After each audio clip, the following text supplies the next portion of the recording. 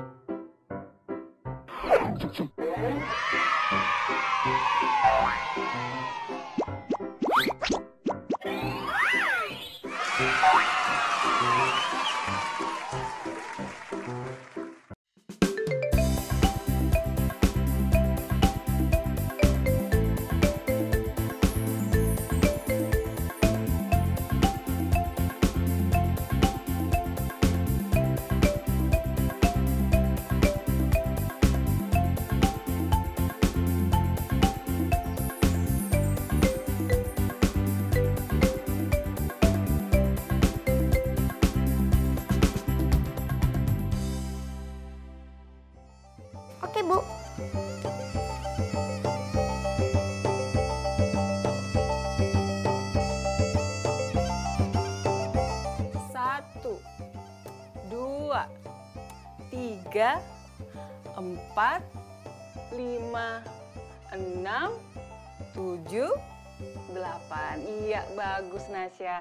Tapi badannya miring sedikit ya. Haha, ya. Terus kakinya ditekuk dikit aja. Iya, begitu. Oke, kita istirahat dulu sebentar. Nanti kita ulangi lagi bagian yang tadi ya. Oke, Bu. Halo teman-teman yang di rumah, selamat pagi. Kalian pastinya sudah semangat dong untuk beraktivitas hari ini. Sekarang aku sedang latihan tari pasambahan dari Sumatera Barat. Untuk persiapan misi budaya di Malaysia beberapa bulan lagi. Aku seneng banget deh lolos seleksi untuk misi budaya ini. Oh iya, Radit dan Arka juga lolos loh sebagai bagian dari grup angklung.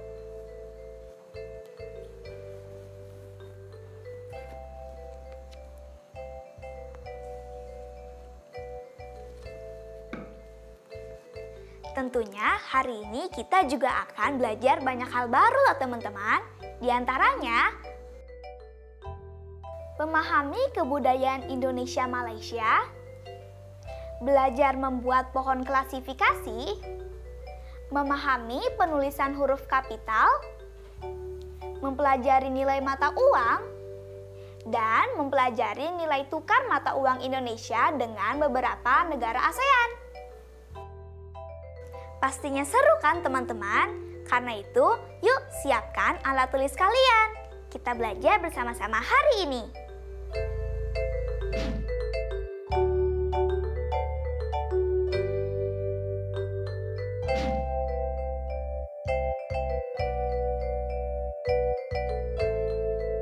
Nasya, kegiatan kita nanti akan digelar di Auditorium Bandaraya, Kuala Lumpur, Ibu Kota Malaysia. Nah, sebagai bekal informasi untuk Nasya sebelum berangkat, Ibu ceritakan sedikit ya tentang Malaysia. Oke, Bu. Malaysia adalah salah satu negara ASEAN dengan ibu kotanya Kuala Lumpur. Berbeda dengan Indonesia yang dikepalai oleh presiden, Malaysia dikepalai oleh seorang perdana menteri dengan jumlah penduduknya sebanyak 32,5 juta jiwa. Lagu kebangsaannya adalah Negaraku. Masyarakatnya bertutur dengan bahasa Melayu, bahasa yang sebagian masyarakat Indonesia pun menggunakannya, seperti di daerah Kepulauan Riau.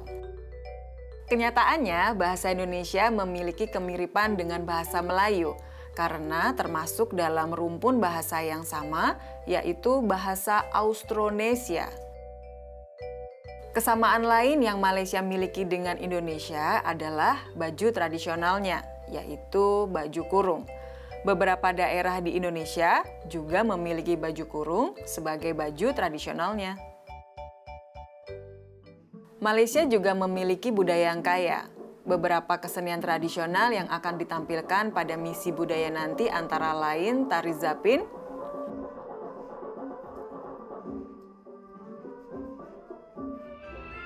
joget Melayu,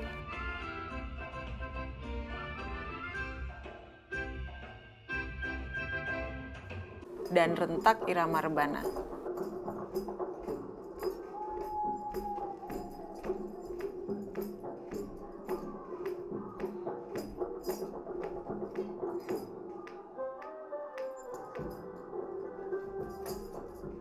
Nah, Nasya sekarang mengerti kan? kalau teman-teman kita di Malaysia sudah seperti saudara sendiri karena kita punya banyak persamaan. Jadi Nasya nggak perlu gugup lagi. Nasya terus berlatih supaya bisa tampil dengan baik di sana. Assalamualaikum. Waalaikumsalam. Eh Arka, sini masuk. Nih, ada Bu Guru.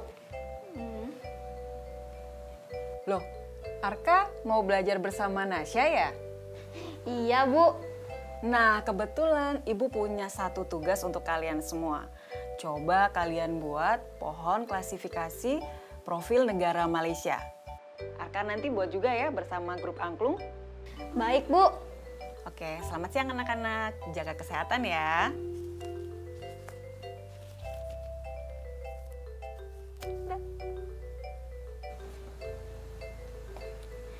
Yaudah kak, sebelum kita bikin PR, gimana kalau kita bikin tugas pohon klasifikasinya dulu? Ya udah, ayo. Yaudah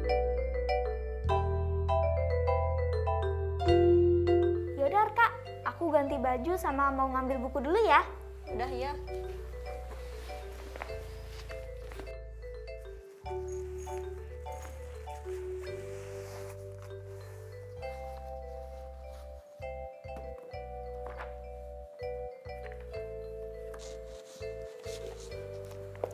Yaudah yuk kak, langsung aja kita mulai belajarnya. Ya udah, ayo. Sebelum mengerjakan, apakah teman-teman sudah tahu tentang klasifikasi? Aku coba jelasin sedikit ya. Pohon klasifikasi adalah satu metode yang digunakan untuk menyusun data secara sistematis. Nah, pertama-tama, salinlah pohon klasifikasi berikut ini pada buku kalian.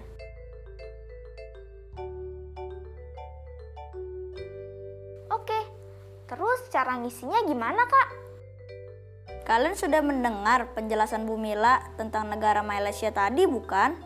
Sekarang, isilah pohon klasifikasi profil negara Malaysia dengan cara menjawab pertanyaan-pertanyaan berikut ini. Pertanyaan pertama, sistem pemerintahan Malaysia dipimpin oleh siapa? Teman-teman ada yang tahu nggak? Ya, betul banget. Berbeda dengan Indonesia yang dipimpin oleh presiden, sistem pemerintahan Malaysia dipimpin oleh Perdana Menteri. Kalau begitu, kita tulis jawaban kita di bagian pertama pohon klasifikasi yuk. Lalu untuk pertanyaan keduanya itu apa kak? Berapa banyak jumlah penduduk Malaysia? Hmm, berapa ya? Oh, ada yang ngejawab nih, 32,5 juta jiwa. Apakah benar? Benar, kita tulis jawaban kita yuk. Untuk pertanyaan ketiga, apa bahasa resmi yang digunakan di Malaysia? Hmm, wah, ini sih gampang banget teman-teman. Karena bahasa kita itu mirip banget. Bahasa resmi yang digunakan oleh negara Malaysia adalah bahasa Melayu. Mantap. Pertanyaan selanjutnya, apa lagu kebangsaan Malaysia? Ada yang tahu jawabannya teman-teman? Betul banget kalian. Lagu kebangsaan Malaysia adalah negaraku. Lalu pertanyaan terakhir, sebutkan tiga contoh tari tradisional Malaysia. Yang pertama ada tari zapin, lalu ada joget Melayu, dan yang ketiga adalah rentak kirama rebana. Catat dulu ya teman-teman. Wah, akhirnya pohon klasifikasi kita selesai nih. Terima kasih ya teman-teman sudah membantu kami mengerjakannya. Kalian hebat banget. Sekarang kita kerjakan PR kita yuk.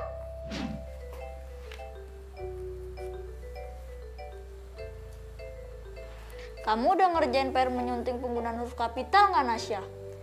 Hmm, udah kok. Teman-teman di rumah juga perhatikan yuk. Soalnya habis penjelasan ini kita akan mengerjakan tugas bersama. Oke, aku jelasin ya. Berdasarkan pedoman umum ejaan bahasa Indonesia, huruf kapital pada istilah geografis ditulis sebagai berikut. Pertama, huruf kapital digunakan pada huruf pertama pada awal kalimat. Contohnya, Benita membaca buku. B pada awal kalimat harus kapital. Pedoman berikutnya, huruf kapital dipakai sebagai huruf pertama nama geografi. Contoh kalimatnya, aku naik perahu di Sungai Musi. A pada aku ditulis kapital karena pada awal kalimat. Lalu S dan M pada Sungai Musi ditulis kapital karena merupakan nama geografi. Contoh berikutnya, dia belibur ke Kamboja. D pada dia kapital karena di awal kalimat. Dan K pada Kamboja kapital karena merupakan nama geografi. Tapi hati-hati ya, karena huruf pertama nama diri geografi yang dipakai sebagai nama jenis tidak ditulis dengan huruf kapital. Contohnya, jeruk Bali, kacang Bogor, dan petai Cina. Semua tidak kapital karena dipakai sebagai nama jenis. Selanjutnya, huruf kapital dipakai sebagai huruf pertama dalam nama negara, lembaga, badan, organisasi, dan dokumen. Kecuali kata tugas seperti di, ke, dari, dan, yang, dan untuk. Contohnya, Republik Indonesia, Perserikatan Bangsa-Bangsa, dan Kementerian Kesehatan RI. Oke, aku mengerti. Teman-teman di rumah juga sudah mengerti kan? Kalau begitu, kita coba ngerjain latihan bersama-sama yuk. Nah, teman-teman, di sebelah kiri terdapat tulisan yang akan kita sunting. Nanti hasil suntingnya akan kita tulis di kolom sebelah kanan. Kita baca sejenak dulu yuk sebelum kita kerjakan. Oke.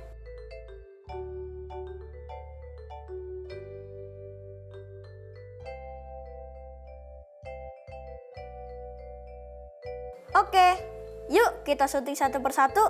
Kalimat pertama, hubungan bilateral antara Indonesia dan Brunei Darussalam dalam bidang sosial budaya berjalan dengan baik. Huruf manakah yang harusnya kapital, teman-teman? Iya, huruf H pada hubungan internasional harusnya kapital karena berada di awal kalimat. Lalu, huruf B dan D pada Brunei Darussalam juga kapital karena merupakan nama geografi. Kalimat selanjutnya. Hal itu tercermin dari kegiatan saling kunjung antar pejabat kedua negara. Salah satunya S pada salah satunya kita tebalkan ya karena di awal kalimat. Salah satunya adalah kegiatan yang dilakukan pada tanggal 24 sampai 27 November 2015 yaitu kunjungan Komisi Pengawas Haji Indonesia KPHI ke Mufti Kerajaan Brunei. Komisi Pengawas Haji Indonesia merupakan nama lembaga, maka semuanya menjadi kapital. Nah, sekarang semua kalimatnya sudah selesai disunting deh.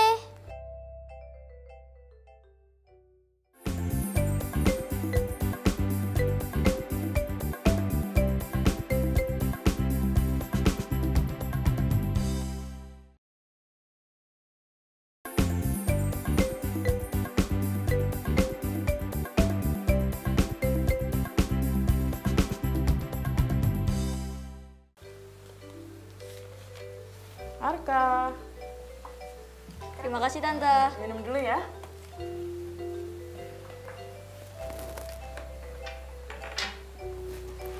Nasya, rencananya kamu bawa uang jajan tambahan berapa ke Malaysia? Hmm, nggak tahu deh. Kira-kira berapa ya, Mi? Kalau nggak salah, nanti kalian kan dikasih uang saku sama panitia. Jadi nanti Nasya cuma bawa uang jajan tambahan sedikit aja, Kak. Oh, begitu. Iya, tapi mata uang Malaysia itu apa ya? Nasya lupa. Ringgit Malaysia, Nasya. Betul sekali, Arka. Kalian tahu kan, setiap negara atau wilayah mempunyai mata uang masing-masing. Tahu nih. Tante. Nah, kalau mata uang dari Singapura, Hmm, dolar Singapura. betul. Kalau Thailand, Hmm, bat kan kalau nggak salah? Iya betul sekali. Tapi kalian mengerti nggak konsep nilai tukar mata uang? Hmm, belum, Mi. Boleh minta tolong jelasin nggak? Oke, Mami jelasin ya. Nah, teman-teman di rumah juga perhatikan ya, karena sehabis ini kita akan berlatih soal bersama, oke? Setiap mata uang memiliki nilai yang berbeda-beda, seperti 100 dolar Amerika tidak sama nilainya dengan 100 rupiah. Jadi, ayo kita kenali beberapa mata uang dan nilai tukarnya dengan rupiah. Pertama, dolar Amerika yang dilambangkan dengan simbol ini sering digunakan dalam perdagangan antar negara. Nilai tukar mata uang ini selalu berubah-ubah, bisa naik ataupun turun. Sebagai contoh, saat ini nilai tukar dolar Amerika dengan rupiah yaitu 1 dolar sama dengan 14.200 rupiah. Lalu sekarang Mama kasih contoh. Untuk mendapatkan 10 dolar, maka kita harus menyediakan uang berapa ya? Hmm, gimana cara menghitungnya ya? Tinggal kalikan saja. Untuk mendapatkan 10 dolar, kita kalikan dengan nilai tukar dolar ke rupiah, yaitu 14.200 rupiah. Itu berarti kita membutuhkan 142.000 rupiah untuk mendapatkan 10 dolar Amerika. Ada nggak sih, Mi? Mata uang yang nilai tukarnya lebih rendah daripada rupiah? Ada contoh nilai mata uang yang lebih rendah dari rupiah, yaitu dong Vietnam. Nah, nilai satu dong Vietnam itu sama dengan 0,61 rupiah. Wah, kecil juga ya. Iya. Nah, sekarang pertanyaannya, berapa nilai 10.000 dong dalam rupiah? Tinggal kalikan 10.000 dong dengan nilai tukarnya, yaitu 0,61 rupiah. Maka hasilnya adalah 6.100 rupiah. Kalau tadi contoh mata uang asing ditukar ke rupiah ya tante. Kalau sebaliknya gimana? Cara mencari nilai satu rupiah dalam mata uang asing adalah dengan membandingkan satu dengan nilai tukar mata uang asing tersebut. Kalau dibandingkan, berarti kita menggunakan operasi pembagian. Contohnya, satu rupiah dalam mata uang yen Jepang. Satu rupiah sama dengan satu dibagi nilai tukarnya, yaitu 136,87. Maka hasilnya 0,0073 yen. Jadi penasaran, nilai tukar rupiah Indonesia ke ringgit Malaysia itu berapa ya? Kita coba eksplorasi melalui soal-soal yuk. Teman-teman juga ikut berlatih bersama ya. Sekarang perhatikan tabel berikut ini. Dari tabel nilai tukar mata uang beberapa negara ASEAN ini, mata uang negara manakah yang memiliki nilai tukar paling tinggi dan paling rendah terhadap rupiah? Hmm, yang tertinggi dolar Brunei dengan nilai tukarnya sebesar 10.570 rupiah. Dan yang terendah, dong Vietnam dengan nilai tukar 1 dong sama dengan 0,61 rupiah. Betul, kalian pinter-pinter. Nah, minum dulu airnya ya. Ya tante.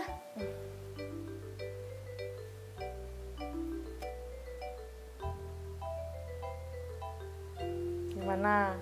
Enak? Manis? Mantap. Nah, sekarang Nami mau kasih coba soal lainnya ya. Gimana? Boleh, siapa takut? Oke, begini soalnya. 1 dolar Singapura jika ditukarkan ke rupiah nilainya setara dengan 10.500 rupiah. Jika kamu punya 5 dolar Singapura dan ingin menukarkannya ke rupiah, berapa rupiah yang akan kamu dapatkan? Coba Arka yang jawab ya Tante. Nilai 1 dolar Singapura sama dengan 10.500 rupiah. Maka 5 dolar Singapura ditukar ke rupiah menjadi 5 dikali 10.500 rupiah sama dengan 52.500 rupiah. Benar, pinter kamu Arka. Nah, sekarang pertanyaan selanjutnya ya. Mami ingin berkunjung ke Thailand. Oleh karena itu, Mami ingin menukarkan uang sebanyak Rp234.000. Berapa bat uang yang akan Mami peroleh? Hmm, tadi gimana ya? Aku masih bingung. Pertama, kita tulis dulu nilai tukar satu bat, yaitu Rp468. Sekarang kalau dibalik, kita memiliki Rp4.680. Jika dijadikan bat, berapa? Kita bagi jumlah uang yang dimiliki senilai Rp4.680 dengan nilai tukar sebesar Rp468 sama dengan berapa? 10 bat. Lalu kalau 100 bat berarti sama dengan berapa rupiah? 100 dikali 468 sama dengan 46.800 rupiah. Nah, berarti kalau kita memiliki uang 234.000 rupiah, berapa bat yang bisa kita dapat? Berarti 234.000 rupiah dibagi nilai tukarnya 468. Coba hitung hasilnya berapa ya teman-teman? Iya betul, jawabannya adalah 500 bat. Wah, hebat. Kalian cepat sekali ya mengerti konsep nilai tukar. Semua berkat Tante yang ngajarin. Iya, Mi. Makasih ya. Nah, bagaimana teman-teman pelajaran hari ini? Kita tadi sudah belajar banyak hal kan? Seperti memahami kebudayaan Indonesia Malaysia, belajar membuat pohon klasifikasi, memahami penulisan huruf kapital, lalu kita juga mempelajari nilai mata uang, serta nilai tukar mata uang Indonesia dengan beberapa negara ASEAN. Dan jangan lupa ya untuk jaga jarak, cuci tangan, dan pakai masker ya teman-teman. Supaya kita ikut mencegah penyebaran COVID-19. Sampai jumpa!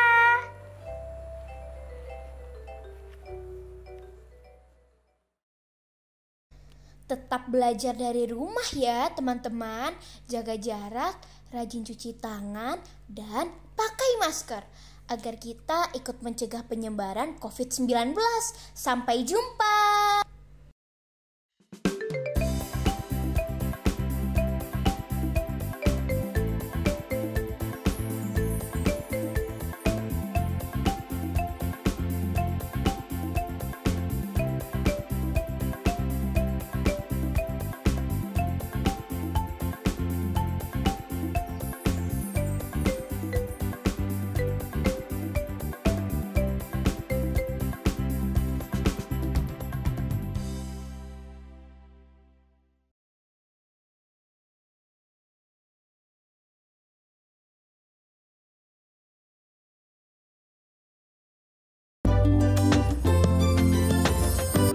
Sering-sering cuci tangan.